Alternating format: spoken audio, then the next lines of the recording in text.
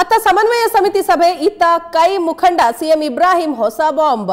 S, Ganesha ಚತುರ್ಥಿಯ ಬಳಿಕ ರಾಜ್ಯದಲ್ಲಿ ಭಾರೀ ಬದಲಾವಣೆಯಾಗಲಿದೆ.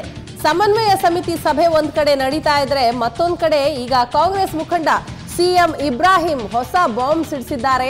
ಗಣೇಶ ಚತುರ್ಥಿ ಬಳಿಕ ರಾಜ್ಯದಲ್ಲಿ ಭಾರೀ ಬದಲಾವಣೆಯಾಗಲಿದೆಯಂತೆ ಸಮ್ಮಿಶ್ರ ಸರ್ಕಾರದಲ್ಲಿ ನಮ್ಮ ಸಮುದಾಯಕ್ಕೆ ಉನ್ನತ ಸ್ಥಾನ ಸಿಕ್ಕಿಲ್ಲ. ಸೆಪ್ಟೆಂಬರ್ನಲ್ಲಿ ನನ್ನ ಶಕ್ತಿಯನ್ನ ತೋರಿಸುವೆ. ನನ್ನ ಹಿಂದೆ ಸಾಕಷ್ಟು ಜನರಿದ್ದಾರೆ ಅನ್ನುವಂತಹ ಹೊಸ ಬಾಂಬ್ ಅನ್ನ ಸಿಡಿಸಿದ್ದಾರೆ.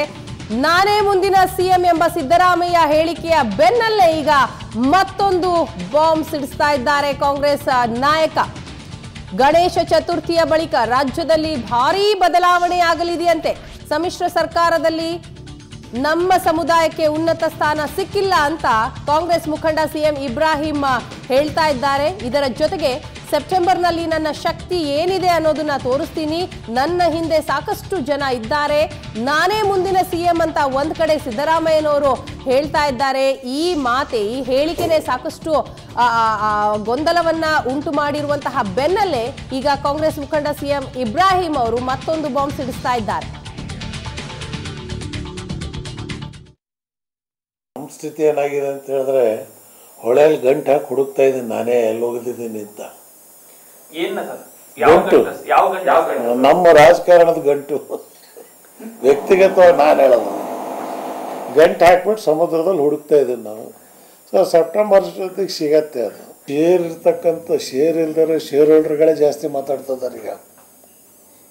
ಶೇರ್ ಹಾಕಿ ನಾವು ಸುಮ್ಮನೆ ಕೂತಿದ್ದೀವಿ ಡಿವಿಡೆಂಟ್ ಇಲ್ಲದೆ ಸೊ ಅದಕ್ಕೆ ಈ ಹೈದರಾಬಾದ್ ಕರ್ನಾಟಕ ಬಾಂಬೆ ಕರ್ನಾಟಕ ಪ್ರವಾಸ ಆದಮೇಲೆ ಮಾತಾಡ್ತೀನಿ ಮುಂದೆ. ರಾಜ್ಯದ ರಾಜಕಾರಣದಲ್ಲಿ ಧುಮುಕಿದೀವಿ ಕೋಲಾಡಿಸೋ ಕಾಲ ಬರುತ್ತೆ ಅವಾಗ ಸೆಪ್ಟೆಂಬರ್ ಆದಮೇಲೆ ಆಡಿಸ್ತೀವಿ ನಮ್ಮ ಸ್ಥಿತಿ ಏನಾಗಿದೆ ಅಂತ ಹೇಳಿದ್ರೆ ಹೊಳೆಯಲ್ಲಿ ಗಂಟು ಹಾಕಿ ಹುಡುಕ್ತಾ ಇದ್ದೀನಿ ನಾನೇ ಎಲ್ಲಿ ಹೋಗಿದ್ದೀನಿ ಅಂತ. ಗಂಟು. ನಮ್ಮ ರಾಜಕಾರಣದ ಗಂಟು. ವ್ಯಕ್ತಿಗತವಾಗಿ ನಾನು ಹೇಳೋದು. ಗಂಟು ಹಾಕ್ಬಿಟ್ಟು ಸಮುದ್ರದಲ್ಲಿ ಹುಡುಕ್ತಾ ಇದ್ದೀನಿ ನಾವು. ಸೊ ಸೆಪ್ಟೆಂಬರ್ ಜೊತೆಗೆ ಸಿಗತ್ತೆ ಅದು. ಶೇರ್ ಇರ್ತಕ್ಕಂಥ ಶೇರ್ ಇಲ್ದರೆ ಶೇರ್ ಹೋಲ್ಡರ್ಗಳೇ ಜಾಸ್ತಿ ಮಾತಾಡ್ತಿದ್ದಾರೆ ಈಗ. ಶೇರ್ ಹಾಕಿ ನಾವು ಸುಮ್ಮನೆ ಕೂತಿದ್ದೀವಿ ಡಿವಿಡೆಂಟ್ ಇಲ್ಲದೆ ಸೊ ಅದಕ್ಕೆ ಈ ಹೈದರಾಬಾದ್ ಕರ್ನಾಟಕ, ಬಾಂಬೆ ಕರ್ನಾಟಕ ಪ್ರವಾಸ ಆದಮೇಲೆ ಮಾತಾಡ್ತೀನಿ ಮುಂದೆ ರಾಜ್ಯದ ರಾಜಕಾರಣದಲ್ಲಿ ಧುಮುಕಿದ್ದೀವಿ ಕೋಲಾಡಿಸೋ ಕಾಲ ಬರುತ್ತೆ ಅವಾಗ. ಸೆಪ್ಟೆಂಬರ್ ಆದಮೇಲೆ ಆಡಿಸ್ತೀವಿ ನಮ್ಮ